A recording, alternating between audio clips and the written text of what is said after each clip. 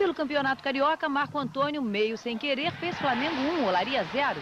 No segundo tempo, Roma aumentou, Flamengo 2 a 0.